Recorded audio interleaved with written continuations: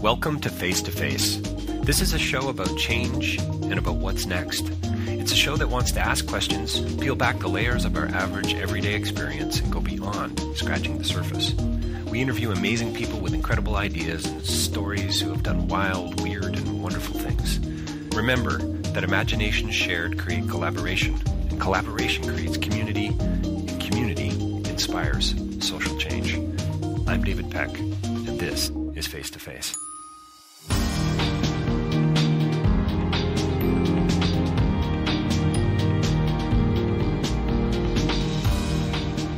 Well, my guest today is a returning guest to Face to Face. Her name is Miranda Bailey, and she's a filmmaker. She's a producer, writer, director. She's, as she says in the in the interview, she's she's put her whole foot right into the business, and maybe someday going to be setting up an art house theater on the moon. I know it sounds a little crazy, but but Miranda has a crystal ball, so she has access to things that you and I can only dream of. So listen into the interview coming up. We talk about uh, a new well, it's not that new actually. The cherrypicks.com. I think it's in its third year. It's it's I hope she doesn't mind me saying this. It's kind of rotten tomatoes ish, uh, but it's it's about women and it leans in a very particular way. It's about uh, uh a perspective. It's about uh, a way of seeing the world that I think you're going to want to look into. So check it out, The.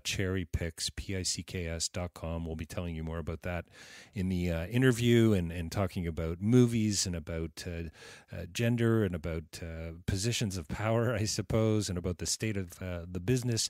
But really, and, and just talking about some some fun movies that are out there right now. And one of one of the things that I what that I really loved about the site and the way that it, it kind of works, the way that the CherryPicks works is there's different classifications. So there's a run, don't walk. There's definitely worth the ticket. There's a catch it from your couch, and there's the pits. And but as as those are sort of four different ways of looking at you know new films and so on, uh, or older films, the critics uh, uh, that appear on the site. But as Miranda's so uh, quick to point out, even even the sort of the lowest uh, level rating is still something worth seeing. So so yeah, check it out. It's a lot of fun. We'll, we'll, be stepping into it in just a few seconds. And don't forget davidpecklive.com for more information about my writing and speaking. You can get a copy of Real Change Is Incremental there. I'd love it if you purchased a copy of that. And then even more, I would really appreciate you leaving a review. And uh, if you uh, want to get behind what we're doing here at Face to Face, you can do that through Patreon. You can support us that way. If you can't, and I totally get that, uh, we'd really appreciate a review on iTunes. It's really hard to get noticed on iTunes. There's a lot of podcasts out there right now.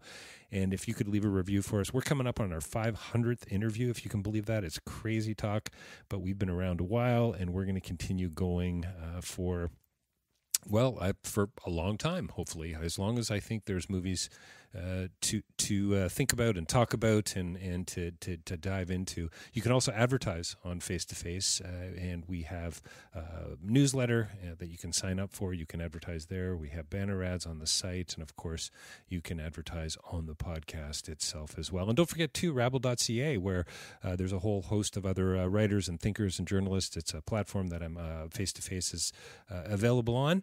And uh, I think that's about it. Uh, did I say that I'd really love a review? I'm kidding. Uh, a review on iTunes would be wonderful. And sign up for the newsletter, face-to-facelive.ca. Check it. Uh, check us out there. And coming right up, Miranda Bailey talking about film and about women and about uh, this website, this this this new approach, uh, thecherrypicks.com. Well, welcome to Face to Face. We're joined by a very special guest with us here today. We have Miranda Bailey here to talk about a, a couple of new things, and I'm sure we're going to get into a, a whole lot of uh, otherness. Is that even a word, Miranda? I don't know. Anyway, thanks for thanks for joining you know, us here today. Shakespeare made up his own. No What's, reason you can't. That's right. Shakespeare made up his own. No reason you can't. There you go. Well, thanks for joining us, and actually, for you're a, you're a returning guest to Face to Face, and that is just pretty darn cool. So, thanks for joining us today. Well, thanks for caring about what I do. Yeah. So, well, you know what? Why don't we just step right into it? I mean, I've I've got lots of questions, but but uh, you know, connected to this this new initiative or relatively new initiative that you're involved in, the cherrypicks.com, and let's spell that out for everybody. It's going to be available, obviously, in the bio, and you guys will be able to find it there too. But it's the cherry, and it's p i c k s dot com. This is this is about movies. I mean, that we know for sure. Tell us more, Miranda. Yeah, so it's um it's a place where all the female critics that are published are curated together, and we have a score um, of, you know, like kind of how like there's a scoring system for Metacritic or Rotten Tomatoes. We have a scoring system as well, but ours is isolated to female or female identifying or non-binary critics that are published. Uh, so that's what we do. We have our own score. So that's where, like, you know, as a girl or a woman, you can think, hey, what do what do women think about this movie? Uh, women critics specifically at this time, and you can go and see that score. We also have um, a lot of our own content as well that we're doing. So, is it really just about um, about creating uh, a space, a, a, a, different perspective? Is that a fair way to, to say it, or just to you know, try to react no, against I, that? I don't know, white male no, critical. Neither. No, you know, no, it's not against the white male thing or anything. It's really just kind of like, you know, I, I think of it like a magazine, you know, Right. and everyone has its audience. You know, I don't particularly read GQ magazine, you know, um, but I love Marie Claire, right? So, you know, what GQ readers re- think about this specific movie and what Marie Claire readers think about this specific movie are different because they have different points of view. And all this is doing is really getting in one place the point of view uh, of the female perspective on a movie uh, that's coming out. We do all the movies. You know, we do Ford versus Ferrari. It has a very high score. Um, it's a great film. but there's a lot of movies, you know, that some male critics don't like uh, that women seem to love. Um, and a lot of movies that women don't like that that men seem to love. And I think that there's, you know, there's a it, you kind of as a consumer want to know what you are going to like. So this is just kind of finding a niche within the consumer market for female, um, you know, what females seem to like or not. Well, it's kind of interesting, you know. I mean, I, I would imagine you've been making films for a long time, and, and by the way, congratulations on the CherryPicks. I think it's what I've what I've seen so far very cool, uh, and it looks Thank like you. yeah, it looks like. I guess you're not going to get re- reviewed on Rotten Tomatoes anytime soon, is that right? Or Well, no, no. Rotten Tomatoes is similar in the sense that it, you know, they don't do their own reviews. They they collect, um, they uh, they um, they aggregate or they, they curate aggregate exactly. that are already published. So you know that that's similar to what we're doing. We don't have our own reviewers. We do hire writers to write original editorial pieces or op-ed pieces about entertainment from a female perspective. And I know that there's like you know a million uh, platforms that have articles about movies. We are just one of them, and ours is about women's points of view on those movies. And is and so so tell me the so the genesis the, the the the the seed for this was this you know you're sitting around after having seen a great film uh, having a few drinks with somebody and you go you know what we should do this or you you woke up like where where does this no, come I something mean, like this kind come of. It was, yeah, it kind, it was like. I mean, obviously, I've made a lot of movies, and I've gone through, uh, you know, acting, directing, writing, uh, producing. I started a distribution company called the Film Arcade. So, you know, I've kind of been had my whole foot Right, instead of dipping right, a toe. I've had my whole foot in in many many aspects, and I had produced and was distributing a movie uh, that Lake Bell wrote and directed and starred in called I Do Until I Don't. And it's a really cute movie, and she really made it for for women. You know, it's a it's a chick flick on many on every sense of the word. And um, I was reading reviews written by men and written by women, and they were really really written in a different way. Um, and I just think that the male audience of critics, you know, they wrote things about how disappointed they were in her, like almost like they were their dad, her dad or something, you know, like how whatever, and how they wanted her to be more oddly uh, feminist or whatever it was they were expecting from her.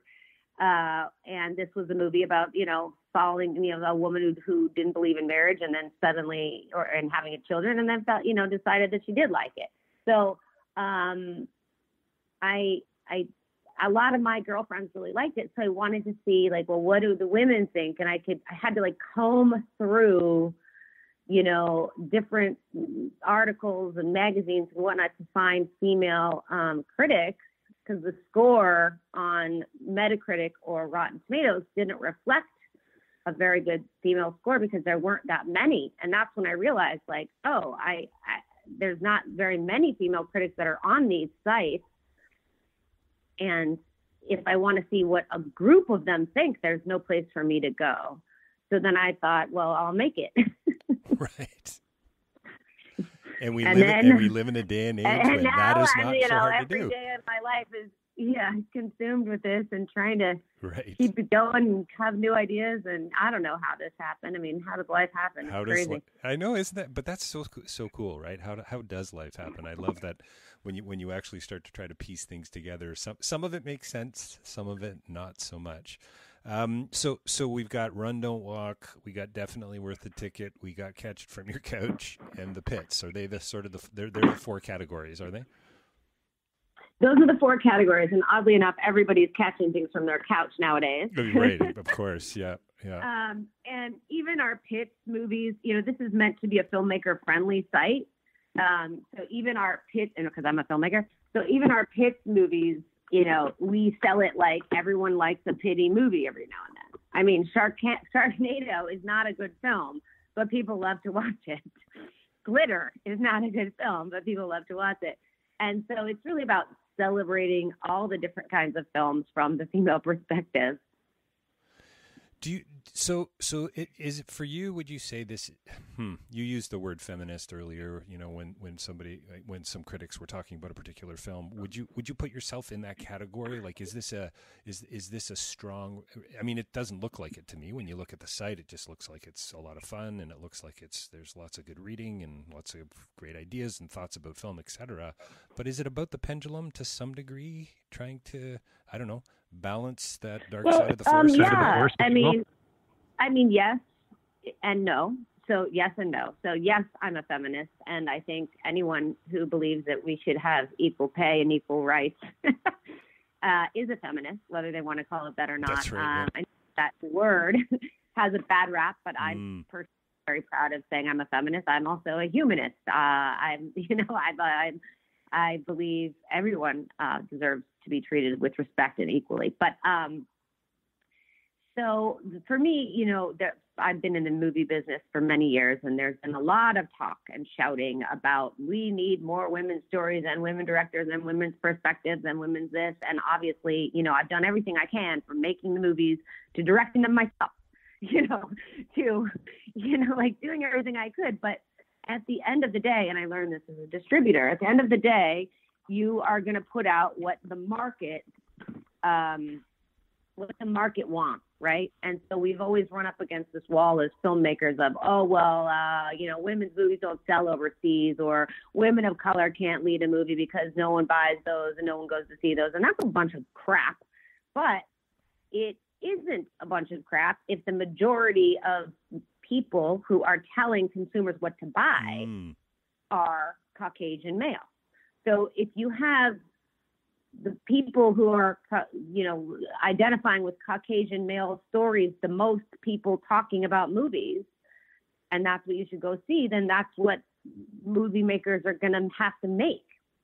So this was about trying to find uh, the female uh, and women of color critics out there, which there are a lot of them I bet. and show that they have their own voices and we have our own audiences as well. And we do go see movies. And we do uh, you know we're consumers. So um, it's really about leveling that. There's no way to get more women behind the camera or more people of color behind the camera or more stories of either if the gatekeepers and I hate that word gatekeepers Right, because it's right. not like they're really stand they're not purposely standing in the way but you know if the New York Times is publishing a you know white male critic on everything and you need to have you know Peter Travers as the only voice that matters or whoever he's going to have a different perspective on things than you know um, Carla Renata the curvy critic.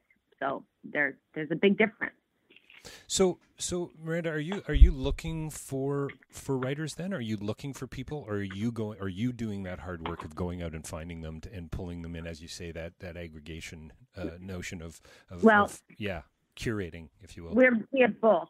We have both. So we've been doing it for two years. We're on year three right now. So I guess two. We've been operating two years, and we're we're you know hoping to finish this next twelve months of year three.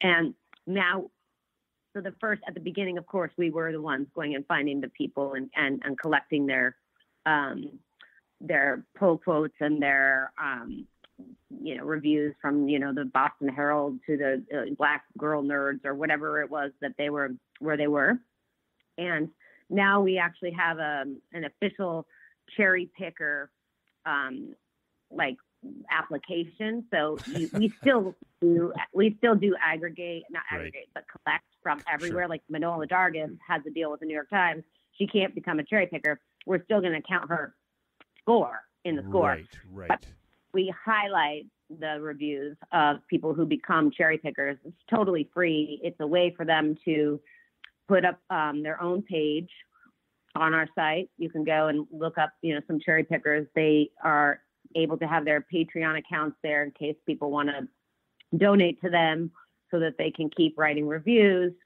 Um, it has a list of their work. If they're looking for a job, they can send that over as a page to get a job at a, at a paper or a place that might be hiring critics. Um, those are the, the, cherry pickers are the ones that we kind of highlight at the, at the beginning of the film page. But we do aggregate, not aggregate, but curate all female and non-binary critics that we know about that you know about. Do do you think? I mean, I think this is a pretty self-evident question on, on some level, and, and maybe not on others. But the the width and the breadth of of the uh, the the female perspective. I mean, you know, as I was thinking about our interview and, and looking at the CherryPicks, the the cherrypicks.com, by the way, folks, um, and going a little deeper, I started to think about what are some of those great uh, roles from my perspective. You know, uh, white male over here, podcaster, not really a critic, but love loves film and and and I came up with quite quite a list in truth, you know, and some some sort of indie more indie like films, and then some of the bigger ones like Mad Max and The Hunger Games, and this type of you know character representation and so on. But do do you think there are are things getting better? I guess you know you talked yes, about that. You talked about are. that yeah. gatekeeper small g. Yeah. You know yes, they are getting better, and people are talking about. It. As long as people keep talking about it, then it then things will be. As long as it's in the awareness, it'll change. Mm. You know, I I um. As you know, I have nothing against white men. I've slept with many of them, but um. okay, so Miranda, every every day I look for one soundbite, one soundbite a day for my kids or my wife or something I'm reading. That's my soundbite. So thank you for that. I appreciate Great. that. Yeah, yeah. I'll be tweeting um, that out later tonight. And, by the way. Great, awesome. That's great. That's right. That'd be great. True. Uh, um, but I, you know, um, I do think it's getting better, and I, but I do think movements, you know, help things get better. And I know that there's a backlash to movements. You know, the Me Too movement has its own backlash. Black Lives Matter has its own backlash. Times Up has its own backlash. But backlash. But these are critical movements that start the conversation and without them we're not able to you know have have true equality without the conversation. So but that has nothing to do with CherryPicks necessarily No, but it's but I think it is but it is a part of it, right? It's it's adding to it. Hey, can I read this quote? Have you read any Simone de Beauvoir by any chance? I studied philosophy for for for many years, and one of my favorite books is is uh, The Ethics of Ambiguity by by de Beauvoir. Uh, let, check this quote out. I, am going to read it whether you want me to or not. The, quote: "Representation of the world, like the world itself, is the work of men." They describe it for their own point of view, which they confuse with absolute truth. Close quote. Isn't that great? That's great. That's it's so good. Clearly, she had a, she clearly had a great sense of humor, wit, irony. But wow, could she she, she turn a phrase? Yeah. So so the pendulum swinging back, uh, or or it's um, middling out maybe uh, to to some degree. We're in the middle of this COVID crisis. Oh, I don't think I don't think it's middling out or anything, and I don't think it, let's I mean, not get too positive. Jobs, is what you're think, saying? I, I, think that people are more aware that they need to hire more females across the board and people of color across the board. I think that in Hollywood, I think that that is an awareness, and that is where it starts. I think there's a lot of work to be done to continue to do, and I think that we all, um, you know, make you know are, are, indoctrinated so much that we make mistakes based on you know what we've what we've learned in the you know learned in the past of what it is or isn't and and I think that we have to be open to criticism and we have to be open to change It's great. It's great. Open to criticism and open to change. Hey, can you tell me tell me a little bit about uh, you're working on another initiative and uh, uh, the film the film arcade is. Can, can, we chat about that a little bit in this new? Uh, yeah. Yeah. So tell, tell um, I started. I started the Film Arcade, which is a traditional theatrical distribution company, um, after I was producing a lot of movies and selling them.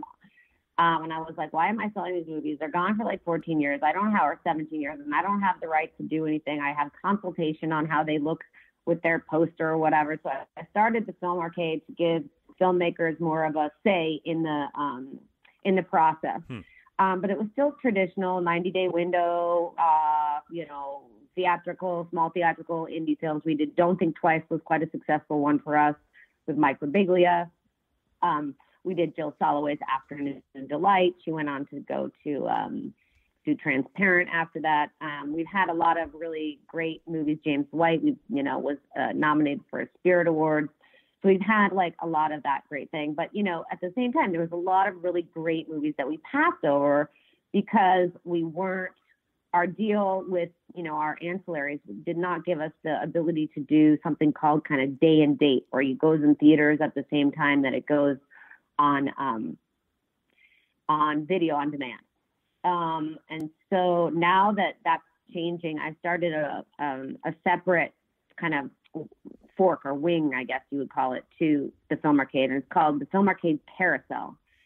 And this is specifically for um, being movies that are under $2 million from underrepresented stories or filmmakers that um, aren't getting the traditional distribution that they can actually self distribute with our guidance and counsel um, through the carousel plan. So we would, you know, they would budget for it in their movies or they would raise the money, which is not a lot of money. We're not doing like traditional studio service deal, you know, $250,000 things at all. You know, we're really keeping in mind how do we help these filmmakers mm. and what is the least amount that it will cost us to get it up. And that's what they would pay. So they're paying a small fee for our counsel and then they paid this small fee that we've made deals on with our you know, with the Amazons and iTunes and the um, Google Plays and whatnot. And then we've made special deals with, you know, publicists and special deals to get, you know, to be able to bring those prices down so that these filmmakers can actually get their movie out there. And if they want to put it in theaters when theaters reopen, they can. And we'll help them do that. So is this something that, that was has been sort of uh, uh, germinating for quite a while, pre pre COVID, or is this? Uh, well, it was happening. It was happening with other smaller companies that mm. that were not traditional theatrical. Um, Distribber was one. Go Digital was one. Those all went out of business, and they went out of business probably because that was their only model. I think that they too bad they went out of business because right now I think it's probably the best time. Uh, this pandemic, you know, has very very much proved, if anything, that people um, do still like watching movies at home and that the traditional distribution model needs to change. So um, this is just our way of making sure that we get these little movies seen before everything is drowned out by the big ones. So, so it's really interesting. I mean, you've been, you've been, it sounds great, by the way. You've been doing this a long time, like you say. You you put your full foot in, not just dipping your toes in, and producing, directing, writing the the, the whole works, and so on, distributing. What what what's going on right now? Like, what's your sense? What's your are we? You know, you you used a pretty positive phrase there when when we're going to be back in the theaters again, uh, but you know, we're also proving that you know people are paying to see films at home. So, is there a sense? Uh, do you you know with people that you're talking to, do you sort of have a prophetic? uh, I mean, uh, you sure, got a crystal. You got a crystal ball there. Here, sure. Uh, I actually do have a crystal ball. Oh, um, nice. Second soundbite for the day. Second soundbite for the day. It. Let's ask it. Hold on. Crystal ball. You, is it, called Mr. Predicto. Will theaters go back to being the same again?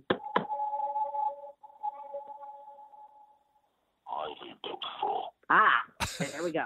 Highly doubtful they will be the same again. And that's what I was also going to say. Right. Um, I think that the traditional model of theaters refusing films because that's what they do. The exhibitors refuse films that do not have a 90 day window. Um, when that means like 90 days before they go on DVD, right? Traditionally, which now is called video on demand, right? And then video on demand has its own like, you know, set of uh, window or or license time before Right. it goes to SVOD, which is subscriber video on demand, like Netflix or Hulu. So it would normally go to a theater, then three months later it would go to a video, then three months later or something it would go to Netflix, right? If Netflix would buy it. Or now there's going to be tons of more subscription. There's tons more SVODs out there. Netflix is definitely going to be having a lot of um, competition. Uh, there was talk about the Oscars and Spielberg didn't like it and wanted to keep the 90 day window because, you know, Netflix was having Roma play for two weeks in a Mm. theater and then go on subscription video on demand. And that was like really shaking up things. And if this pandemic has taught us anything, it is that you can still have an excellent movie. You can still get excellent numbers. You will not necessarily get a good box office, you know, Right. although Roma did. Um, by playing at home as well. And um, the movies will be taken seriously, watched at home, just as they are in, in theaters. And I think for a long time, we've, as a, I'm not an exhibitor yet, but never say never. Um, exhibitors, it, it's been very scary as the as as the Yeah. change has happened because less and less people are coming, and their their ticket prices are just too damn expensive, right? And right now, I have to say, you know, Emma, 1999 for a rental for 48 hours, I think is too expensive. But guess what? We don't have a choice right now. Right. we want to see Emma. but they're getting that price out of VOD, so I'm curious how that's going to be. But I think, I think the exhibitors just have to make it, you know, more of a, you know, can't just have a, a theater anymore. You know, you got to have do what ArcLight did and have a restaurant or do what uh, Alamo Drafthouse has and serve beer and like have it really be a destination and a place to go out in order for people to want to go out and spend the spend the money because we do have the option to see it at home now. You know, But it's it's really small interesting. movies have not had the opportunity to Right. play in those theaters anyway Right. because they've been sucked up by the big ones. Yeah, they've been kind of shut out. You know, there's a there's a couple small small theaters like that in Toronto here that that that do play those you know types of films, Yeah. the indie films. They do get a theatrical, as it were. Um, There's not many art house theaters left in the world. Right. There really aren't. Yeah, diff, diff, difficult way to make a living for for sure. I was. It's interesting. My wife Elizabeth this morning was telling me a story about. Um, uh, uh, she's like, "Oh, wow! Finally, some positive news coming out of this this crisis." And I guess B and B has got somebody in. Uh, wait for it. I can't think of where it was. Anyway, where did Chernobyl happen? It was in the Ukraine, I believe. Anyway, he's he's doing He's he's doing video. Chernobyl. It's in Yeah. Chernobyl. Chernobyl's in Chernobyl. That's right. He's doing these video video tours, and so the dogs of Chernobyl. So there's a pair. I guess there's a lot of stray dogs or whatever. Anyway, so ten people. It's going to cost you X amount of dollars. He'll take you live for your 90 minute tour. And you log on some sort of Zoom call or something like that. I mean, it's just uh, really interesting. And, and there's obviously right now there's a little bit of a demand for that kind of thing. Could that actually change the way we do travel in the future?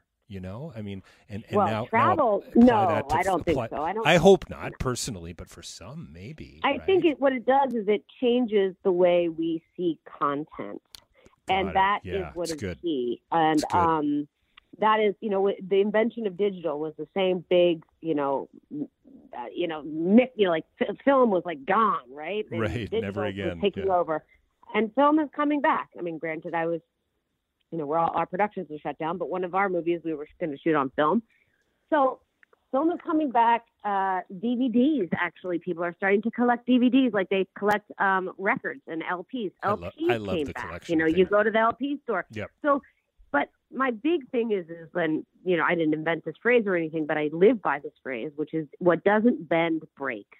Mm, And if you cannot be flexible and learn how to pivot and say plot twist, okay, and keep reading, you're going to die. Your business will die. Your relationships will die. You know, you gotta, you gotta like learn how to go with the flow a little bit, and Hollywood has to do the same.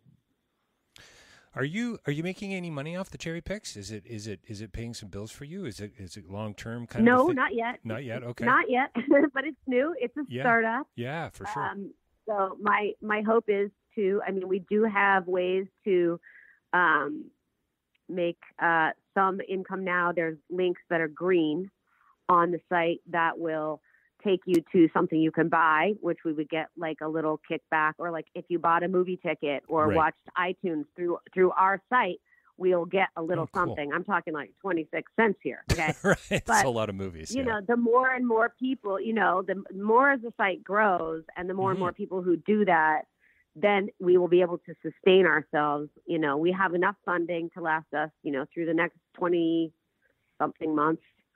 And, you know, maybe someone will buy us, maybe we'll get investors, maybe it'll be maintaining on its own by then. You know, we have advert we've I've stayed away from advertising um, thus far because I don't like it aesthetically and I, I want the content to be good first and I want to find unique ways of advertising. Um, and we have some really unique ways to advertise for, through movies and stuff now. You can buy a takeover and has like your image play on the front page and stuff like that and do a coll- sponsored collection, you know. So, like my movie that I directed called Being Frank is about a guy who was, you know, had the secret family. So we made a collection called Lovable Liars. So there's a movie of Lovable Liars, and it was sponsored by the Film Arcade. Um, and that movie like plays first. Those kinds of things Right. that um, that the studios will be able to use. And obviously, we want our license. You know, we want our score to be out there. You know, we I feel that our score should be licensed just like the Rotten Tomatoes Mm. score or the Meta, you know, the Metacritic score that gets licensed for iTunes and whatnot. I, I think our score should be there as well. But we need more people to know about us before that yeah, absolutely. I would say it's just a matter of time and and some. It you is. know, you certainly got the passion and the commitment and the intention. That's for sure. And and I really wish you well with it. So hey, uh, but just before we wrap up here, uh, give me a couple of rundown walks that that that my listeners might be interested in going to see, or sitting downstairs and seeing. Yeah. Well, you know, we have a newsletter actually that comes Oh, out every cool. Friday that you can sign up for on our website. Nice. And that actually, what, you know, like instead of just run, don't rock, like what we do is we do something called the cherry pick choices. So these are kind of like when you used to go to the video store and like the people who work there were like, I like this movie. So we have cherry pick choices. Um, that's our first thing when you go to the website.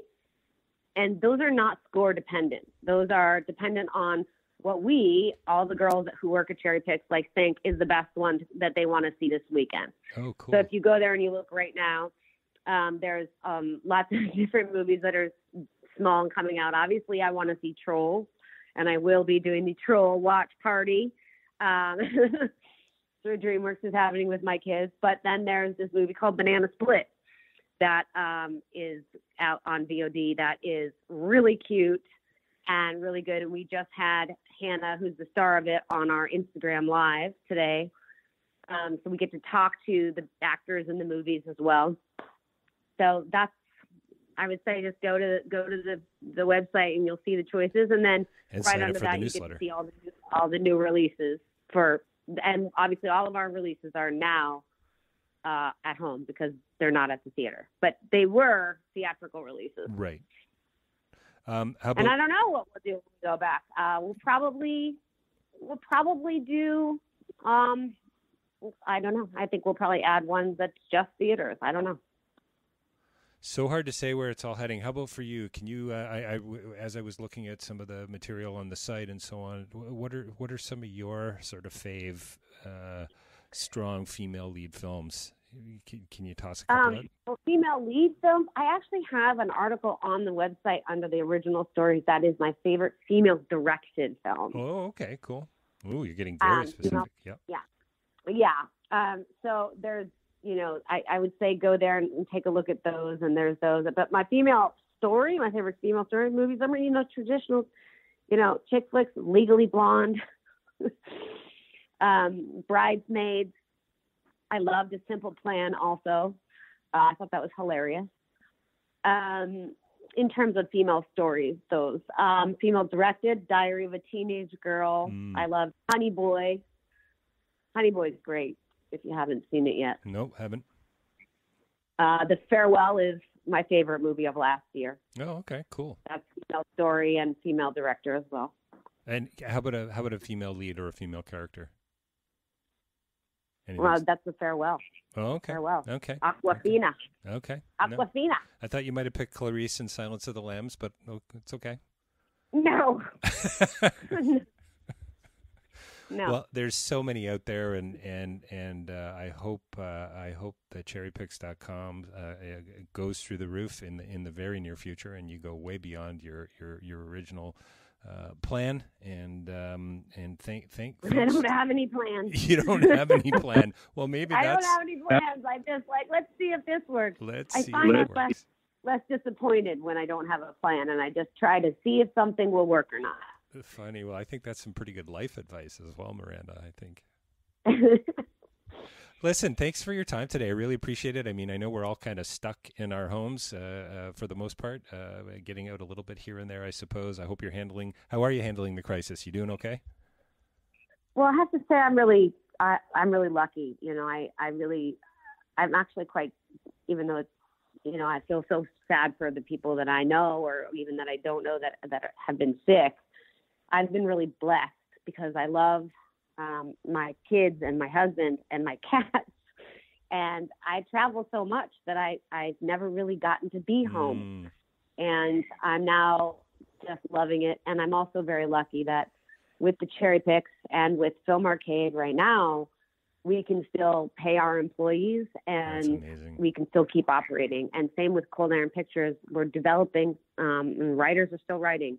So I'm really grateful that I haven't had to like furlough anyone or let anyone go, and that we can keep operating. I, I, I'm lucky I don't own a restaurant. Is all I can say. Yeah, no kidding. Well, listen, congratulations and, and wishing you well with it all. TheCherryPicks.com. It's P I C K S.com. Check it out. Sign up for the newsletter. And uh, we've been talking uh, with Miranda Bailey today, filmmaker, distributor. Uh, you're going to become an exhibitor soon, too, right? Isn't that what you said? I, I think someday Yeah. before I die, I will have a theater, an art house theater somewhere. Yes, but who knows where I'll end up? I mean, could be on the moon for all I know. Well, thanks so much for your time First movie today. theater on the moon. That's First, what I well, there you go. No. That wouldn't take too much uh, uh, money to capitalize. Yeah. Thanks for your time today, Miranda. Thank you so much.